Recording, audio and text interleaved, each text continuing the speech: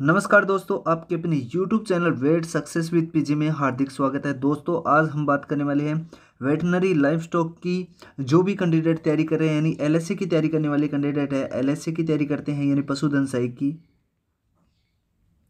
पशुधन सहायक की तैयारी करने वाले कैंडिडेट हैं।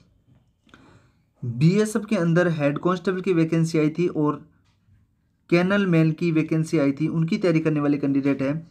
और जाने अनजाने में स्टेट गवर्नमेंट की बात करें स्टेट गवर्नमेंट या सेंटर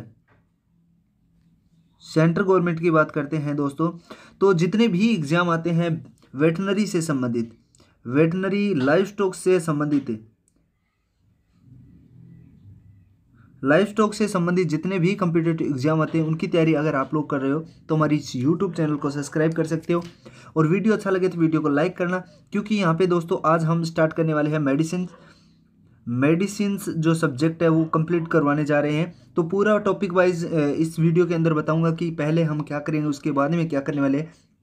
इससे पहले अगर हम, हमारे चैनल पे आप पहली बार विज़िट कर रहे हो तो इस चैनल को सब्सक्राइब करें और वीडियो अच्छा लगे तो वीडियो को लाइक करें दोस्तों और अपने दोस्तों को शेयर ज़रूर करें ठीक है दोस्तों, ये तीन काम आप लोगों को करने हैं अगर आप पहली बार विज़िट कर रहे हो इस चैनल पर लेकिन अगर पहली बार विज़िट नहीं भी कर रहे हैं तो ये दो काम तो आपको अवश्य ही करने हैं। ठीक है तो पहले मैंने जेनेटिक्स कंप्लीट करवा दी है। जेनेटिक्स है, वो कंप्लीट करवा दिया। उसका वीडियो आप लोगों को प्लेलिस्ट में मिल जाएगा पूरा एक से लेके और बारह वीडियो के अंदर मैंने पूरी जेनेटिक्स करवा दी है। ज़्यादा लंबे वीडियो भी नहीं है, बीस से तीस मिनट के वीडियो है, प्रत्येक वीडियो ठीक है दोस्तों? आप जाइए और एक बार उनको पढ़िए ताकि आप जो एलएससी की तैयारी करने वाले हैं या पहले भी मैंने आप लोगों को बता दिया वेटनरी हेड कांस्टेबल की बात करते हैं बीएसएफ के अंदर वैकेंसी है। उन सभी की तैयारी करने वाले जितने भी कैंडिडेट हैं, जिनके अंदर जेनेटिक्स जो पार्ट है वो लगता है तो आप लोग उस वीडियो को पढ़ सकते हो। जाइए, अभी उसका लिंक मैं डिस्क्रिप्शन में दे दूँ, वहाँ पर जाके आप लोग प्ले में जाइए और प्ले से आप लोग क्या कर सकते हो, उनको पढ़ सकते हो। एक नंबर जैसे ही आप लोग कोई भी वीडियो पढ़ते हो, उसके ऊपर पहला वीडियो है, दूसरा वीडियो है, तीसरा वीडियो इस प्रकार से वीडियो के नंबर लगाए हुए हैं। आप लोग क्रम वाइज उन वीडियो को देखें ताकि आपके जो रिलेटिव जो टॉपिक है वो कंप्लीट हो सके, ठीक है? वैसे ही हम क्या करने वाले हैं यहाँ पे? जो मेडिसिन मेडिसिन स्टार्ट कर रहे हैं दोस्तों, मेडिसिन जो सब्जेक्ट है, वो हम स्टार्ट कर रहे हैं। तो मेडिसिन से हम क्या करेंगे? पहला वाला वीडियो करेंगे, उसके बाद में दूसरा, तीसरा, इस प्रकार से कंप्लीट करेंगे। कंप्लीट करने के बाद में नेक्स्ट जो सब्जेक्ट स्टार्ट करेंगे, उसको भी इसी प्रकार से कंप्लीट करने, करेंगे। अगर हमारे, जब जब हमारे दस सब्जेक्ट कंप्लीट हो जाएँगे वेटनरी लाइफ स्टॉक असिस्टेंट के, यानी पशुधन सहाय के दस सब्जेक्ट कंप्लीट होंगे। दस सब्जेक्ट कंप्लीट होते ही हम क्या करेंगे? क्रेश कोर्स चालू चालू करेंगे। क्रेश कोर्स कोर्स है, वो स्टार्ट कर देंगे। यानी पूरी बुक एक ही वीडियो के अंदर, चाहे वो चार से पाँच घंटे की क्लास के अंदर कंप्लीट करवा देंगे। यानी जल्दी जल्दी फास्टली रिवीजन करवाएँगे हम पूरा के पूरा सब्जेक्ट का, ठीक है? आपको ये आइडिया कैसा लगा, हमें बताइए और कमेंट बॉक्स में कमेंट करके ज़रूर बताना। अगर आपकी कोई भी अन्य राय है तो भी आप लोग हमें बता सकते हो। चलिए स्टार्ट करते हैं वीडियो वीडियो में हम आगे बढ़े, उससे पहले मैं आप लोग को बता देता हूँ कि जेनेटिक्स जो पार्ट है, वो हमने कर लिया है। आज हम स्टार्ट करने वाले मेडिसिन यानी वेटनरी मेडिसिन की जो क्लासें हैं, वो हम स्टार्ट करने वाले यहाँ पे मेडिसिन की बात करते हैं। पूरी थ्योरी पार्ट मैं आप लोग को इस वीडियो के अंदर बताने वाला हूँ। अगर आप लोग हमारे से जुड़ना चाहते हो, चाहे यूट्यूब की बात करते हो यूट्यूब पे जैसे ही आप लोग क्लिक करते हो तो यूट्यूब चैनल पे चले जाओगे। टेलीग्राम पे क्लिक करते हो तो टेलीग्राम से जुड़ सकते हो। व्हाट्सअप ग्रुप से बात करें तो व्हाट्सअप ग्रुप के भी अलग से मैं डिस्क्रिप्शन में भी लिंक दे दूँगा। अगर आप पीडीएफ को परचेज करना चाहते हो तो उसका भी लिंक मैं दे दूँगा वहाँ पे जाके। आप लोग इसको परचेज कर सकते हो, इसके नोट्स निकलवा सकते हो, अपने फ़ोन के अंदर पढ़ सकते हो, और इसके साथ साथ आप लैपटॉप के अंदर भी पढ़ सकते हो। यानी तमाम जो सुविधा दी गई है, उनका फ़ायदा उठाइए, क्योंकि अगर फ़ोन में पढ़ते हो, आप लोग वीडियो लेक्चर देखते हो, उसके बाद में आप प्रिंट निकलवाते हो तो बेटर तरीके से आप पढ़ सकते हो, उसके अंदर कुछ अलग से लिखना होता है, वो भी लिख सकते हो। ठीक है दोस्तों? तो ये सुविधा मैंने दी है। सभी सब्जेक्टों के आपको पीडीएफ मिल जाएगी। पीडीएफ मिल जाएगी चालीस से पचास रुपये के अंदर। ठीक है दोस्तों, सभी सब्जेक्टों की जो पीडीएफ है वो आपको चालीस से पचास रुपये के अंदर मिलने वाली है तो आप लोग जाइए लिंक डिस्क्रिप्शन में मिल जाएगा। और वहाँ पे जाके आप लोग उसको परचेज कर सकते हो। अपनी जो जी मेल लगाते हो, उस जी मेल के ऊपर ही आप लोग को ये वो उसका लिंक मिल जाएगा। वहाँ पे जाके आप ओपन कर सकते हो। ठीक है दोस्तों? तो आज हम बात करने वाले मेडिसिन की। मेडिसिन के कौन कौन से टॉपिक हम पढ़ने वाले हैं इस पूरी सीरीज़ के अंदर? तो उसके बारे में हम जानकारी ले लेते हैं थोड़ी सी थोड़ी।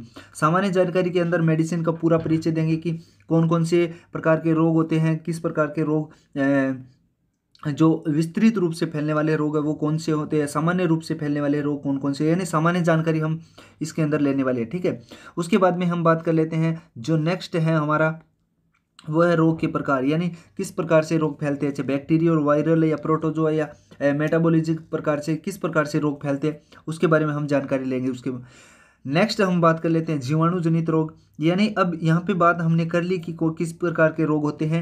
उसके बाद में हम एक एक डेफिनेशन के अकॉर्डिंग यहाँ पे पढ़ने वाले हैं नेक्स्ट जो टॉपिक है उसके अंदर। यहाँ जीवाणु जनित यानी बैक्टीरियल जो डिज़ीज़ है, उसके बारे में पढ़ेंगे, उसके बाद में उसका सिम्टम पढ़ेंगे क्या क्या सिम्टम होते हैं। उसके बाद में हम पढ़ेंगे, इसके बारे में कि अगर रोग हो जाते हैं तो लक्षण कौन कौन से हम डायग्नोस कैसे कर सकते हैं इसको? और डायग्नोस करने के बाद में उसका जो लास्ट में पढ़ेंगे वो है उपचार, यानी ट्रीटमेंट क्या हो सकता है? अगर ट्रीटमेंट नहीं भी होता है तो भी पहले हम क्या उपचार करें? इन सभी के बारे में हम, इसके बारे में पढ़ने वाले उसके बाद में हम प्रोटोजोआ जो जनित रोग है उसके बारे में पढ़ेंगे। वायरल जो डिज़ीज़ है उसके बारे में पढ़ेंगे। ये सारी सारी पाँच से छः चीज़ें जो इससे रिलेटेड होती है, जैसे रोग जो पहले, नहीं पहले, उसके लिए वैक्सीनेशन कौन सी लगाएँ? वो उस, उसके बारे में पढ़ेंगे। उसके बाद में अगर रोग हो गया है तो उसके डायग्नोस कैसे करेंगे? सिम्टम्स क्या होंगे?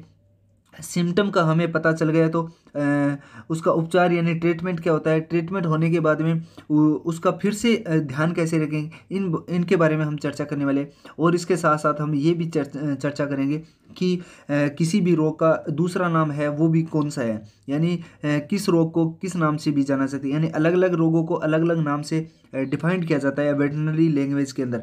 तो इनके बारे में हम चर्चा करने वाले यानी सभी जो, उसके बाद में पाचन तंत्र से संबंधित बीमारियाँ उसके बारे में हम चर्चा करेंगे कि कौन सी मेटाबॉलिज्म है या नहीं है। ठीक है?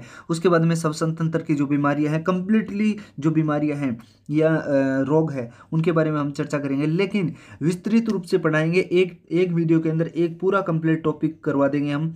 तो आप लोग हमसे जुड़िए और वीडियो अच्छा लगे तो वीडियो को लाइक ज़रूर करना दोस्तों।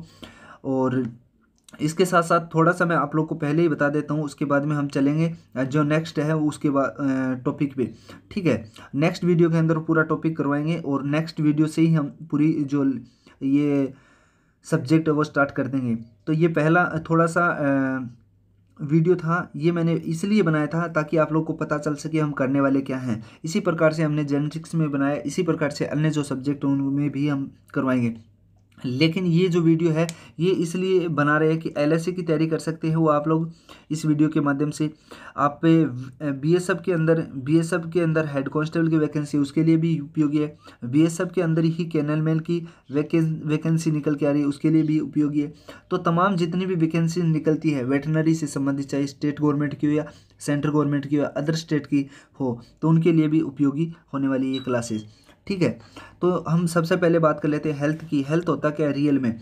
हेल्थ होता है प्राणी शरीर में सामान्य कार्य की संरचना और बनावट में, बनावट को ही हेल्थ कहते हैं। यानी जो जो भी पशु शरीर है, पशु शरीर की सामान्य जानकारी होती है, उसको उसको हम सामान्य जानकारियाँ हम देते हैं, वही हेल्थ होता है। यानी किसी भी शरीर की कार्य की क्या है, उसकी संरचना क्या है, उसकी बनावट कैसी है, ये सारे के सारे पूरा ढांचा होता है। इस ढांचे को ही हम क्या कहते हैं? हेल्थ कहते हैं। एज एज ए हेल्थ के रूप में हम डिनोट करते हैं। अब डिज़ीज़ क्या होती है? हेल्थ हमें हमें पता चल गया कि हेल्थ वास्तव में होता क्या है। उसके बाद में डिज़ीज़ अगर इसमें किसी भी हेल्थ के अंदर किसी भी प्रकार का विकार उत्पन्न हो जाता है तो वो क्या होता है? डिज़ीज़ होता है। जैसे प्राणी के शरीर में कार्य की और संरचना और बनावट में किसी भी प्रकार का परिवर्तन को ही डिज़ीज़ या रोग कहते हैं। यानी सिंपल शब्दों में मैंने बता दिया। पहले तो हम बिल्कुल ही स्वस्थ हैं। स्वस्थ होने के बाद में अगर किसी भी प्रकार की त्रुटि आ जाती है, बनावट के अंदर या विकृति उत्पन्न हो जाती है, उसके बारे में इसके बारे में भी हम विस्तृत रूप से जानेंगे। लेकिन ये छोटी छोटी बातें मैं आप लोगों को नॉर्मली बता रहा हूँ। अगर सामान्य शरीर होता है और सामान्य बनावट होती है, उसके अंदर विकार उत्पन्न हो जाता है तो वो डिज़ीज़ हो गए जैसे मान लीजिए, एक नॉर्मल पशु है, उस पशु की अगर पैर में किसी भी प्रकार का फ्रैक्चर हो गया तो वो डिज़ीज़ उत्पन्न हो गई उसके अंदर, यानी रोग उत्पन्न हो गया उसके अंदर। ठीक है? ये आप समझ गए होंगे। यानी वो लंगड़ा के चलने लगे, उसके अंदर वो डिज़ीज़ उत्पन्न हो चुकी है। यानी उसी क्या कहेंगे? रोग कहेंगे। उसके बाद में हम बात कर लेते हैं मेडिसिन की बात करें तो मेडिसिन काफ़ी दो से तीन प्रकार की होती है, लेकिन मुख्य रूप से क्लिनिक मेडिसिन और प्रिवेंटिव जो मेडिसिन यानी पूरा रोकथाम यानी टीकाकरण वैक्सीनेशन जो होती है, वो प्रिवेंटिव मेडिसिन होती है और जो रोग होने के बाद में हम इंजेक्शन लगाते हैं। वो क्लिनिक मेडिसिन होती है। इसके बारे में हम पूरी डिटेल के साथ नेक्स्ट वीडियो में चर्चा करेंगे। लेकिन फ़िलहाल यहाँ पे बात कर लेते हैं वेटनरी मेडिसिन वेटनरी मेडिसिन मैंने पहले भी आप लोगों को बता दिया कि दो प्रकार की होती है। एक होती है क्लिनिक मेडिसिन, सेकंड होती है प्रिवेंटिव मेडिसिन। ठीक है? अब विज्ञान की वह शाखा जिसमें पशुओं के रोगों की पहचान, निदान, उपचार और नियंत्रण किया जाता है, इसी के अध्ययन को पशु चिकित्सा विज्ञान या वेटनरी मेडिसिन कहते हैं। मेडिसिन मुख्य रूप से दो प्रकार के होते हैं दोस्तों। पहली होती है क्लिनिक मेडिसिन और दूसरी होती है प्रिवेंटिव मेडिसिन जो पहली क्लिनिक मेडिसिन है, उससे पहले मैं आप लोग को बता देता हूँ, प्रिवेंटिव जो मेडिसिन है, वो क्या होती है?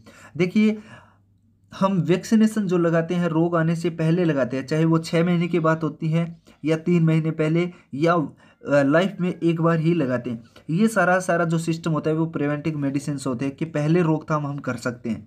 क्लिनिक मेडिसिन वो होती है दोस्तों कि हम बीमार हो गए। मान लीजिए टेम्परेचर 101 से ज़्यादा चल रहा है। किसी भी पशु का, उसको बुखार है, उसका टेम्परेचर 101 से 102 हो गया। अब हम उसका इलाज करवाने ले जाते हैं डॉक्टर के पास में। वो क्या करता है? उसका डायग्नोसिस करता है। फिर उसका ट्रीटमेंट करता है। वो जो ट्रीटमेंट करता है, वो क्लिनिक मेडिसिन के अंतर्गत आता है, ठीक है?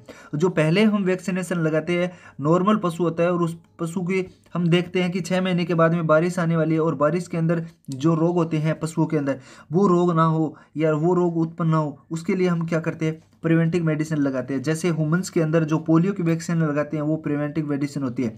लेकिन बुखार आने के बाद जो इंजेक्शन लगाया जाता है, वो क्लिनिक मेडिसिन के अंदर आता है, ठीक है? मैं आशा करता हूँ कि ये वीडियो आप लोग को अच्छा लग रहा है और आप लोग समझ भी रहे होंगे। उसके बाद में यहाँ पे देखिए, थोड़ा सा मैंने डेफिनेशन भी लिख दी है। क्लिनिक मेडिसिन इसके अंतर्गत वे बीमारी आती है जिसमें पशु चिकित्सालय में चिकित्सक के द्वारा निदान और उपचार किया जाता है। मैंने पहले आप लोगों को समझा दिया, फिर से आपके समझ में आ गए हो। उसके बाद में प्रिवेंटिव मेडिसिन है। इसके अंतर्गत वे बीमारी आती है जिसमें पूर्व से रोकथाम संभव हो। जैसे एफएमडी का इंजेक्शन लगाते हैं एच एच एस का इंजेक्शन लगा वैक्सीनेशन लगाते हैं। बी क्यू का ब्लैक वाटर का जो हम वैक्सीनेशन लगाते हैं, ये सारे के सारे क्या है? ये रोग उत्पन्न नहीं हो, इसके लिए पहले से ही रोकथाम इंजेक्शन लगाए जाते हैं या वैक्सीनेशन लगाए जाते हैं प्रिवेंटिव मेडिसिन के अंदर आता है। उसके बाद में हम जो नेक्स्ट वीडियो के अंदर पढ़ने वाले वो रोगों के प्रकार के बारे में हम पढ़ेंगे। अगर ये पीडीएफ आप लोग परचेज करना चाहते हो दोस्तों तो इस पीडीएफ को इस पीडीएफ का जो लिंक है, वो डिस्क्रिप्शन में मिल जाएगा। और वीडियो कैसा लगा, और जो मेरी ये स्ट्रेटेजी है, वो कैसी लगेगी ताकि आप लोग को ये एक एक वीडियो के अंदर पूरी कंप्लीट जो जानकारी है, वो मिल सके और क्रम वाइज मिल सके। तो कमेंट बॉक्स में कमेंट करके बताना, और मिलते हैं नेक्स्ट वीडियो में, तब तक के लिए जय हिंद, जय भारत दोस्तों। धन्यवाद।